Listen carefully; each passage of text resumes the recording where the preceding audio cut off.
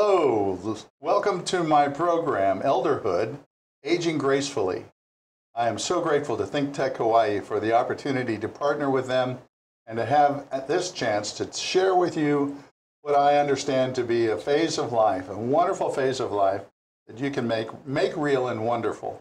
I like to coach people on how to, how to make this part of their life the best part of their life ever. We have childhood, we have, we become adults, I mean, childhood, we are adolescence, and we have adulthood.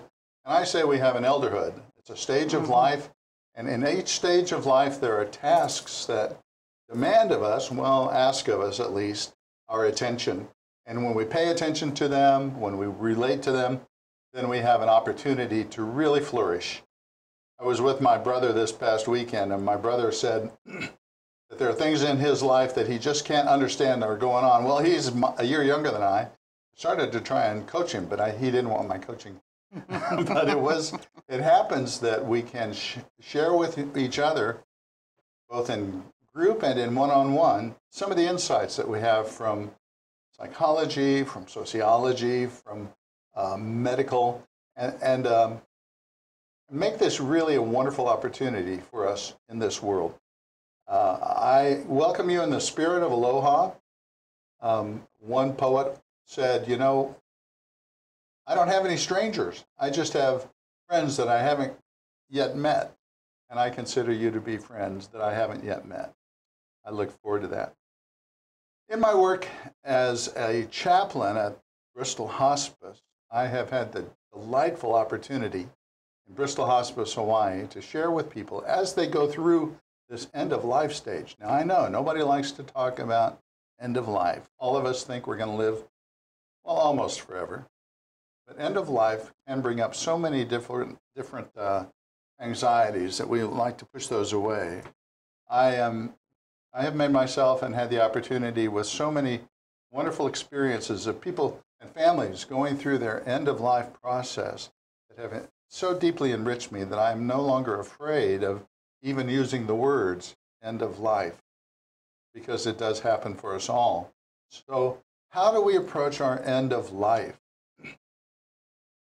When I was on the East Coast, I was uh, up and down the, the um, Appalachian Mountains. And one day, flying over to Asheville, North Carolina, we were in the mountains and there were storms underneath us. And so the pilot came on and said, well, I can't just drop down. There are thunderstorms. I'm going to search for, uh, cruise around here up here and search for an opening. So we cruised around for a while, and then he found an opening, came on and said, We're going down. And he went zoom right down to the landing strip, I mean, to the runway. And I think most of us were white knuckled at that time, just holding on.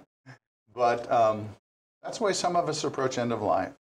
We wait until there, we, there's a crisis, and then when the crisis hits, zoom, and it, it truly is, right, can be frightening and it can be uh, upsetting for the whole family system. Um, so that's one way to approach end of life, and hospice care can help at that kind of end of life. End of life. I don't mean to, to say we won't be there for you.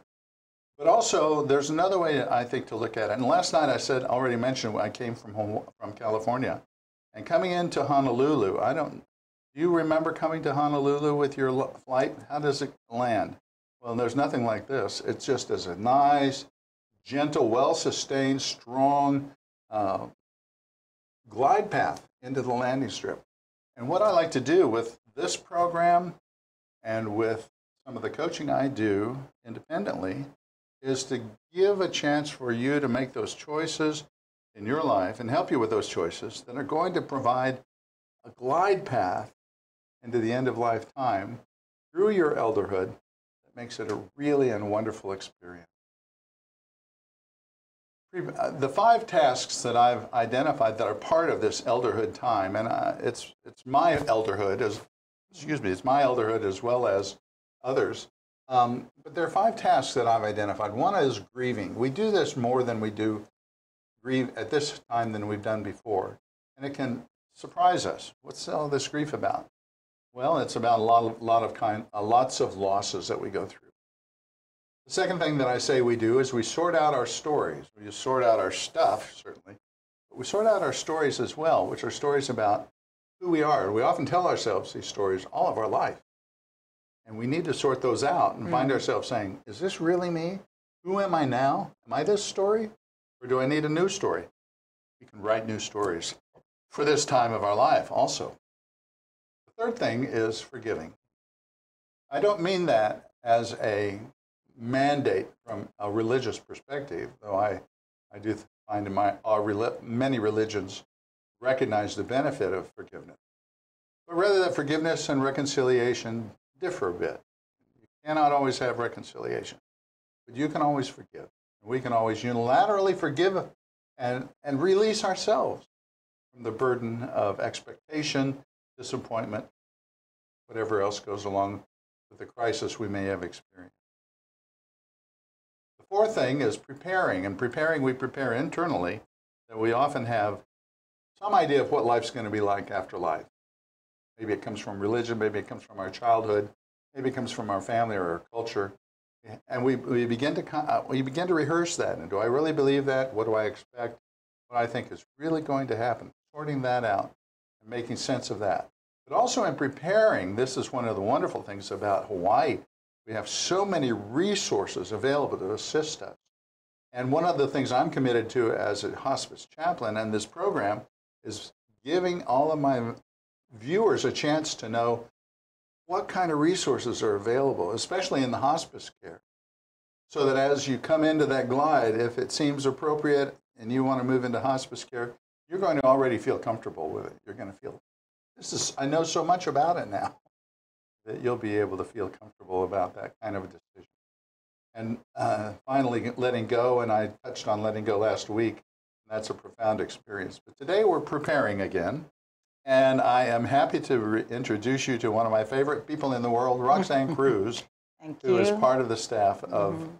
of, uh, of hospice, of Bristol Hospice Hawaii. Roxanne, I welcome you and thank you so much for this opportunity to be in conversation about social work. Mm -hmm. What does a social worker do anyway? Yeah, what do we do?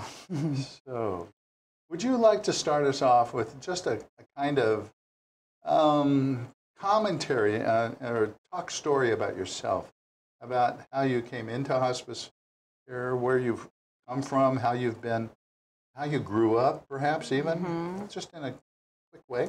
Sure. So, I was born and raised in Palolo Valley, and I moved to Maui um, for a time, for about 10 years, and then I came back home. But I worked for the Sheraton Moana for 25 years in hospitality. And so I got hurt and decided to go back to school.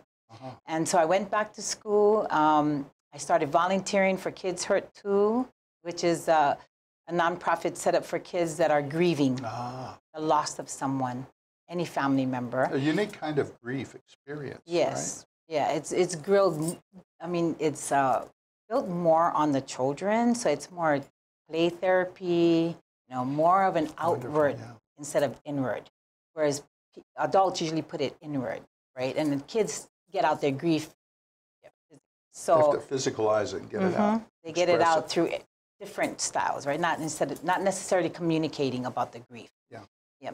And um, every time I go to the meetings, there were a lot of social workers that were older than me that said, "I just graduated my master's." So I thought, you know, I'm going to go do that. And I really thought I would get into the bereavement side of hospice.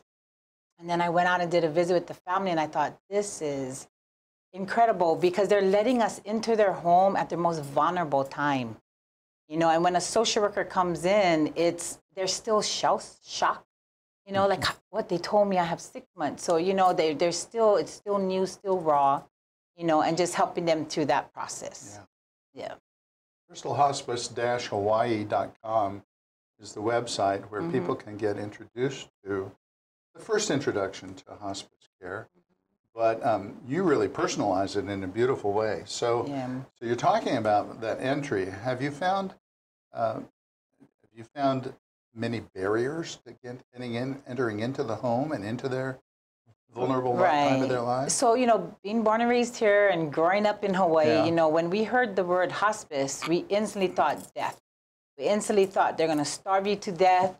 it's just all the myths that we have that are surrounding our local communities about it. But in actuality, it's such a great um, tool that is there for families that will help them through the process of grieving or financially getting their paperwork in order you know making sure that their children if they have kids young children that they're prepared and have counseling set up. So you know i, I really believe um, that once our families have hospice coming in, they say, why didn't we start sooner? You find that a lot. You find that almost all the time, huh? because yeah. usually they don't come on to the end. So yeah. you know when they come in on, if you come on when you first get diagnosed, we have time that we can help prepare you.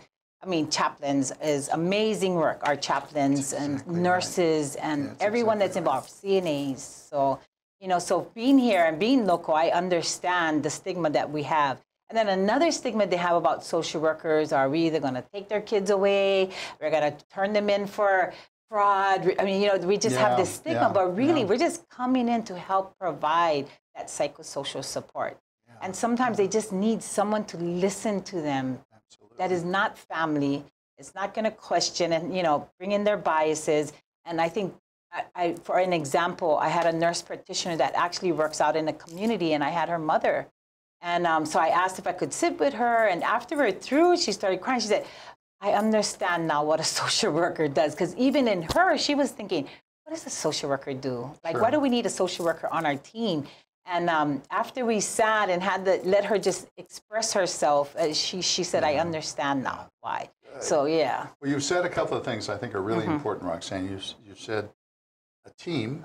Yes. And, and you've said uh, why do we have a social worker? Those kinds of things mm-hmm. are questions. That comes up an awful lot, yes. I'm sure. And I'd like to say that, and I often say, what little I've, begun, I've known, I've been in hospice care for several years, but Cicely Saunders, who was the founder of the hospice mm-hmm. movement in England, um, identified what she called total pain. She identified four, four pains yeah. You know this. Too. Yeah. Well, may I do it? Yes, you're the boss. the first pain is, of course, physical. Physical pain. The second pain is relational, mm-hmm. and the third pain is economic, yes. and the fourth pain is spiritual. Well, on an IDT or an interdisciplinary team, as we call it, we address all four of those mm-hmm. with professional, certified, the best best people that we possibly can have, yes, I think. I think. And we have a, for the physical pain, we have nurse, nurse, medical director, mm-hmm. CNA, CNA, heroes in my book. Mm-hmm. For the family and the economic, social worker, and spiritual chaplain. And mm-hmm. it, there's some overlap in some of that, but all four, it's because the patient experiences this, mm-hmm. not because we said, oh, we're going to have this program and we're going to make it good, but because that's how we want to address Right, because it's not an individual yeah. of, let me go in and help them individually. It's a whole team that goes in that encompasses the family. Yeah. Um, because I will go in and say, well, how are you doing? You yeah. know, and I say, how, how's your prayer life going? And then they say, oh, I'm really struggling. I'll call the chaplain. You know, so it's very important to have that communication open. You know, if they say, you know, I really need three days a week um, having my mom cared for with, by the CNA, then we can talk to the nurses. So the mm-hmm. nurses will call me or email and say, okay, they have a lot of psychosocial problems. There's some family dynamics going on. Can you come in? You know, so as a team, yeah. we can address their needs. Yeah. And this is the most exciting part of, for me of, of uh, at least this is my perception of, of hospice care is working as a team. Mm-hmm. We are human with one another. We get to know each other. We know the strengths that we bring to mm-hmm. the table, mm-hmm. and we want to make those kinds of strengths available to everybody. We're going to take a minute break here, and our break is going to give you a chance to see some more about Think Tech Hawaii, this marvelous organization. And then we'll be back with Roxanne for some of those specifics. What does a social worker do anyway? be right back. Thanks to our ThinkTech underwriters and grantors, the Atherton Family Foundation, Carol Monley and the Friends of ThinkTech, the Center for Microbial Oceanography Research and Education, Collateral Analytics, the Cook Foundation, Duane Kurisu, the Hawaii Community Foundation, the Hawaii Council of Associations of Apartment Owners, Hawaii Energy, the Hawaii Energy Policy Forum, Hawaiian Electric Company, Integrated Security Technologies, Galen Ho of BAE Systems, Kamehameha Schools, MW Group, the Scheidler Family Foundation, the Sidney Stern Memorial Trust, Volo Foundation, Yuriko J. Sugimura. Thanks so much to you all.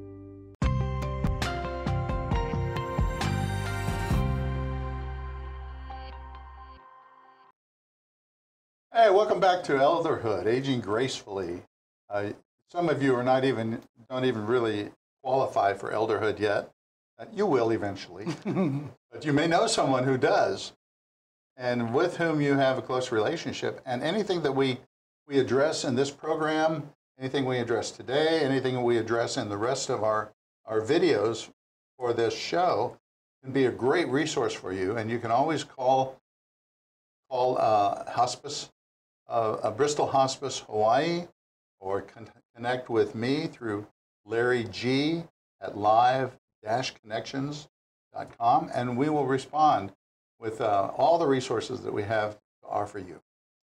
Today, I have with me one of our fantastic social workers, and they are heroes, heroines in my book for all that they do. Um, and her name is Roxanne Cruz. And Roxanne told us a little bit about her background and how she moved into hospice care. And I have asked her if she would share with us some of the things that are done uh, by, by a licensed social worker within the context of that teamwork that we, we offer to the patient and families. So first of all, Roxanne, I'm going to mm -hmm. give you a list of some questions. So first of all, how do I qualify for hospice care? Oh, boy, that's technical. That's a liaison question, but I'll, I'll try to answer. You know the answer. You will get qualified by uh, two doctors to be to um, uh, be approved for hospice care. You have to have a diagnosis of six months or less.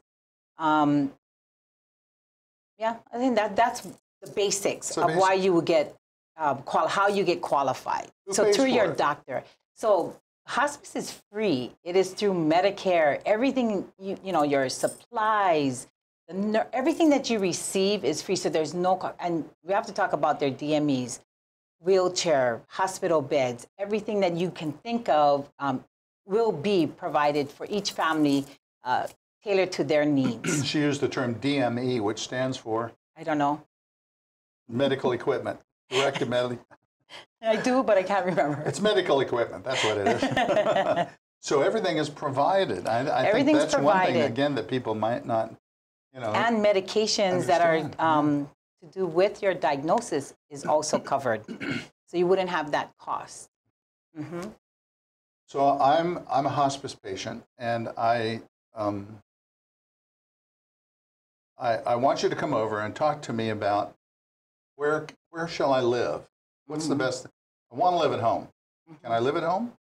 Yes, of course. Most patients, um, I think 90% are in their own homes, and then we have patients in facilities. But if the patient says, I want to remain in the home, and he has the support, or her have the support of family or hired caregivers, you know, it's it's actually better for them to be in the home because then the family it's more personable it's not like oh you're in a facility and you're you're sick and you're ill and then you're going to pass but when you're at home you have the support of your family and friends i mean it could be anyone pastor chaplains that actually know them on a personal level also that can actually come in and help with the family Yeah, very good. Mhm. Because then then I have my own familiar support system as well as this new one that's coming in right to give assistance. right and statistics show you do well at home Yeah. yeah. versus you know in a So what about so what's the difference between Medicaid and Medicare? Well, Medicare covers for the elderly, right? 65 and older, you can get Medicare, everyone, right, across the state. Medicaid is for the low income uh, families, you know, like so that are on uh, Quest, Mm-hmm. um, that needs uh, help. They're not 65, but they'll get Medicaid if they're younger than the 65 or older. So Medicaid provides room and board.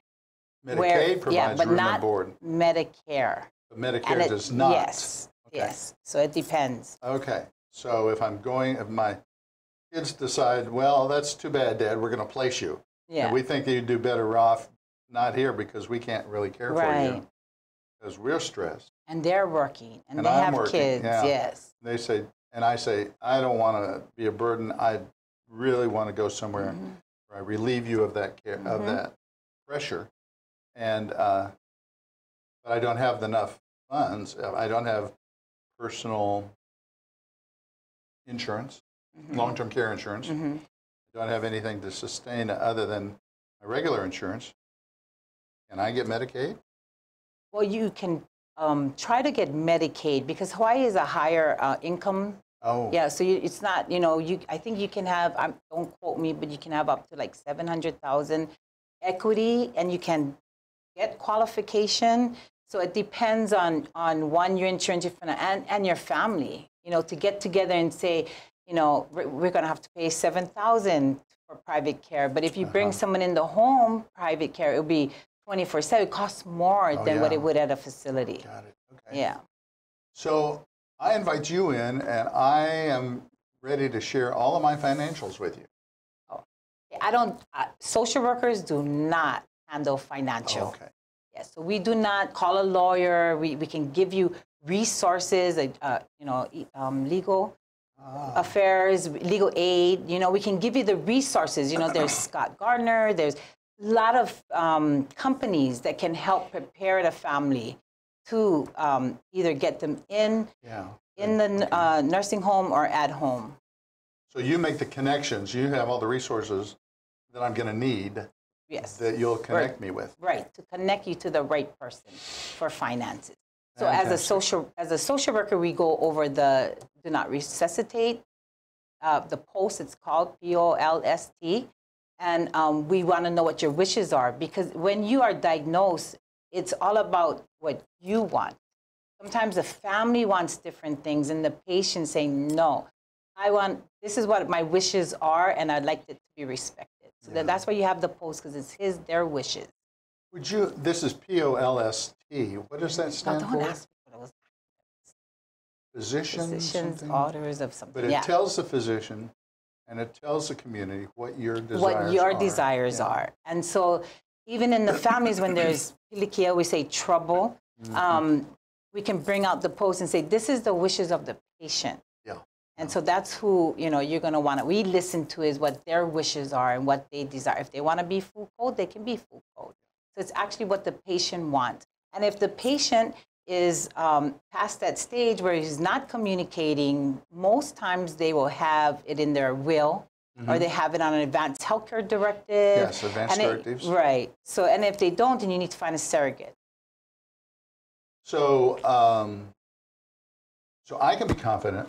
Oops, sorry. So I can be confident that my wishes are going to be respected by my family and physician and everybody. Mm-hmm. Even though it may be difficult for them, I have to clarify that with them ahead of time. Yes. Okay, okay. But the social worker will help me do that. Oh, yes. We can have a family meeting, or I can talk to the family Oh. separately, or we Oh, can, really? you know, we can, it can be worked out just so that the family understands where the patient's coming from. So this was another thing. So, so I'm I'm diagnosed. I tell my family, my and I have a brother that really doesn't like me at all, and all Mm. he says is, "Oh well, about time." or he really doesn't have a very good relationship. And I and I have a an ache about this relationship. Is there? And I share that with you. Mhm.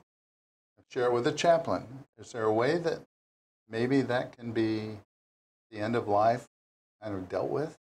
Sure. I mean, you know, we can ask the patient, do you have a number? Would you like us to call them?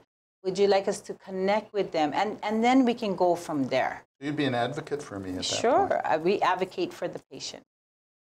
And if that's his needs and desire, you want to help them fulfill that Yeah, need. right. You know, but even in hospice, we have uh, which is called the Dream Foundation.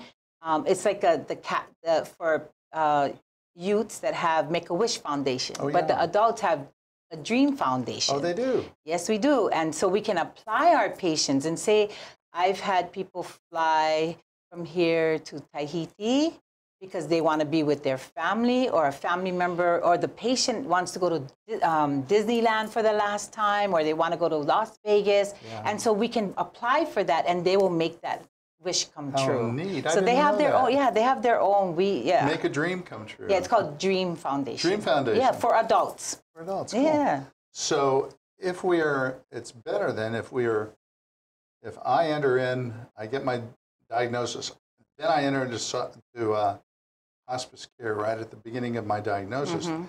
Then I have all that, that time to work with the social worker Yeah. to get the resources. And it's still you still need to qualify. So even if you, unless you, if you're like a stage four, or, you know, you're Yeah. like hard, then of course you're going to come right on, you know, being diagnosed. And a lot of that's we have a lot of patients like that. They went in for a cold and found out they had lung cancer, or you know, really yeah. devastating um, things. So yeah, they can come on to, and then we do have more time to work with them, you know, and so we can work. Oh, you do you have a wish? You have a goal? Because it's about living, right? So you know, not just you don't have to stay home. You don't Yeah, have to be in the right. bed. It's about you, living. It's about living, and that that is what it's about. That's yeah, great. yeah. We have a, just about a minute and a half, Roxanne. Is there a, a quick story about one of your patients without breaking confidentiality, of course, that you Mhm. could share? Well, I had a patient that um, he was on the younger side, 50, you know, on the Uh-huh. younger side, and um, he loved Disney. And we set it up where he could go to Disneyland through the Dream Foundation, but then he started declining. So what we did is we brought it to him. So uh, the nurse, Christy, and I, you know, dressed up little like a fairy tale, and all his family came over. And Did so we had a celebration of life. Oh, wonderful. And we had all the Disney characters, and we brought. It was really great. Oh, he smiled the whole day. I mean, he was Uh. so thrilled. So we we have a lot to offer patients and families, and um, and if we even, I think, if people that work for hospice, we are special. Why? Because we really care. And social workers are special because they're so social. yeah, we are. I am so happy you came to help me out with this, Roxanne. Yeah. Thank you so much. And you all, all Bristol Hospice dash, get on the website if you like. Call us at uh, Bristol Hospice dash Hawaii.com, connect. And I'm happy to respond. Larry G at live connections.com. Thank you so much for being a part of this. Two weeks from today will be our last for the year, program for the year. And uh, I hope you'll come join me again.